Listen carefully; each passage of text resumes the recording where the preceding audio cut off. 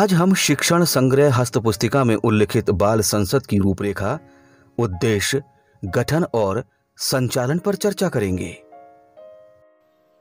राष्ट्रीय पाठ्यचर्या रूपरेखा 2005 पाठ्यचर्या के ज़रिए बच्चों को प्रजातांत्रिक, राज्य व्यवस्था और राष्ट्रीय चिंताओं को समझने में सक्षम बनाने पर ज़ोर देती है। बाल संसद बच्चों को स्कूल से समाज की ओर, सिद्धांत से व्यवहार की ओर लाने का सफल प्रयास है। बाल संसद विद्यालय के बालक बालिकाओं द्वारा क्रियान्वित एक ऐसा मंच है, जहाँ बच्चे एक नेतृत्वकर्ता के रूप में विद्यालय की सभी प्रकार की व्यवस्थाओं का संचालन करना सीखते हैं। इसके माध्यम से बच्चे चुनाव प्रक्रिया संसदीय कार्यप्रणाली और लोकतंत्र की महत्ता से भी परिचित होते हैं।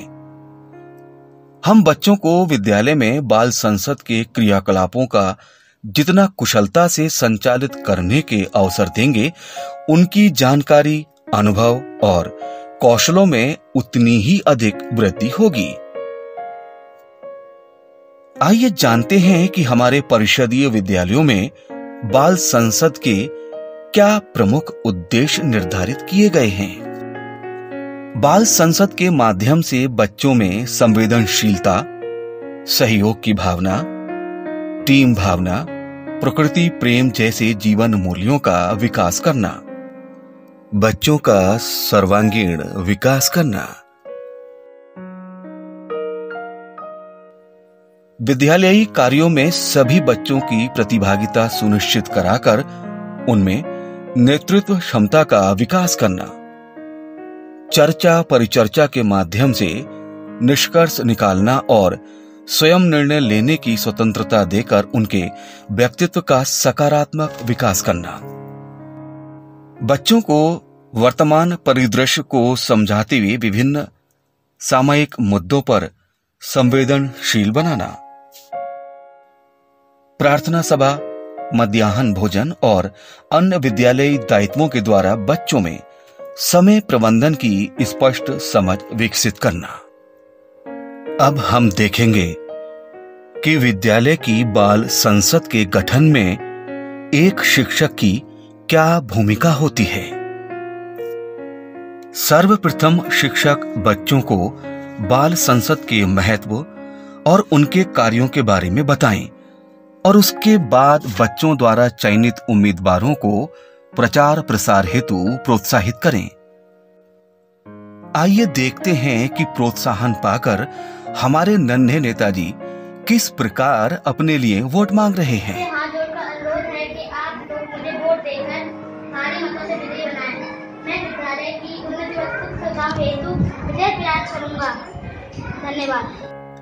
विद्यालय के शेष बच्चों के लिए विभिन्न समितियों का गठन करते हुए अन्य महत्वपूर्ण जिम्मेदारियाँ दी जा सकती हैं।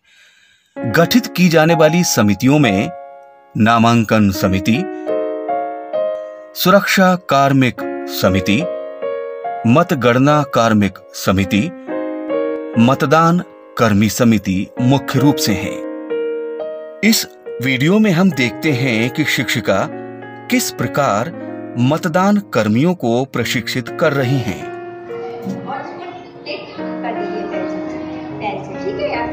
और और क्या करना है? वो अपनी एक आईडी आएगा। वोट डालने के लिए कोई ना कोई आईडी चाहिए। आईडी क्या, क्यों चाहिए? कि यह, यही व्यक्ति है कि नहीं है? अब वो अपने आप आ जाए मैं ही अंकित हूँ अब आप कैसे जानोगे ये तो इसलिए वो आईडी प्रूफ देखना एक ज़रूर लाया जाता है वोट डालने तो आप लोग आईडी उसकी देखेंगे चेक करेंगे। आइए, अब हम इन नन्हे मुन्ने बाल कर्मियों द्वारा कराए जा रहे मतदान की एक झलक देखते हैं।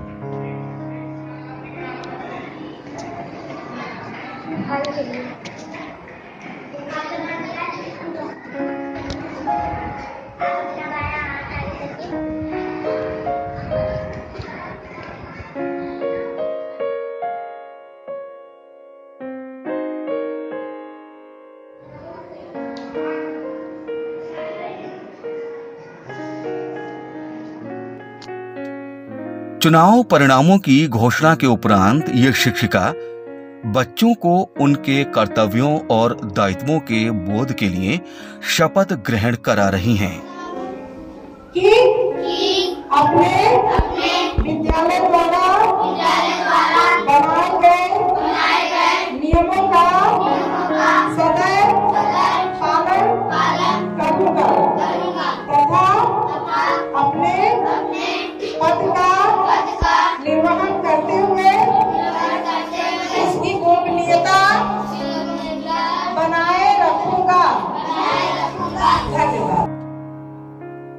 इस प्रकार शिक्षक बाल संसद के गठन से पूर्व और गठन के दौरान संयोजक की भूमिका में होते हैं और गठन के उपरांत वे बच्चों को संयोजक की भूमिका हस्तांतरित करते हुए सुगमकर्ता की भूमिका में आ जाते हैं।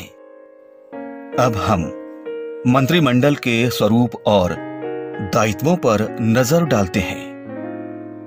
बाल संसद के मंत्रिमंडल में सर्वाधिक महत्वपूर्ण पद प्रधानमंत्री और उप प्रधानमंत्री का होता है। इसमें शिक्षक एक बात का विशेष ध्यान दें कि इसमें एक छात्रा का चयन अवश्य हो। इनका कार्य विशेष अवसरों पर विद्यालय में समारोह आयोजित करना और महत्वपूर्ण निर्णय लेना है। शिक्षा मंत्री और उप शिक्षा मंत्री का कार्य सभी बच्चों को पढ़ाई के प्रति प्रेरित करना है। इसमें सहमीना मंच की मंत्री जो छात्रा हो, उसका पद आरक्षित है। स्वास्थ्य और स्वच्छता मंत्री, उप स्वास्थ्य स्वच्छता मंत्री का दायित्व बच्चों की व्यक्तिगत स्वच्छता, परिसर की स्वच्छता और शौचालय की सफ़ाई का ध्यान रखना है। जल एवं कृषि मंत्री और उप जल एवं कृषि मंत्री का कार्य विद्यालय में पेड़ पौधों, क्यारियों, परिसर के सौंदर्यीकरण पर ध्यान देना और पीने के पानी की स्वच्छता का ध्यान रखना है। पुस्तकालय एवं विज्ञान मंत्री और उप पुस्तकालय एवं विज्ञान मंत्री का प्रमुख कार्य पुस्तकालय और प्रयोगशाला की व्यवस्था देखना और नवाचारों में सहयोग करना है। सांस्कृतिक एवं खेल मंत्री और उप सांस्कृतिक एवं खेल मंत्री का कार्य सांस्कृतिक गोष्ठी, वार्षिक समारोह, राष्ट्रीय पर्वों पर समारोह का आयोजन, खेलकूद का आयोजन और खेलकूद के सामानों की व्यवस्था देखना है। इस प्रकार हम देखते हैं कि छात्रों में प्रबंधन, नेतृत्व क्षमता और अभिव्यक्ति की मुखरता विकसित करने में बाल संसद का महत्वपूर्ण योगदान है। बाल संसद के गठन से विद्यालय की अनेक समस्याओं का समाधान होता है। साथ ही विद्यालय में शैक्षिक और सह शैक्षिक गतिविधियों के संचालन में सहायता मिलती है। सभी शिक्षक विद्यालय के कुशल प्रबंधन हेतु और बच्चों के व्यक्तिगत कौशल के संवर्धन हेतु बाल संसद का गठन अवश्य कराएँ। ये बच्चों के सर्वांगीण विकास के लिए अत्यंत उपयोगी है।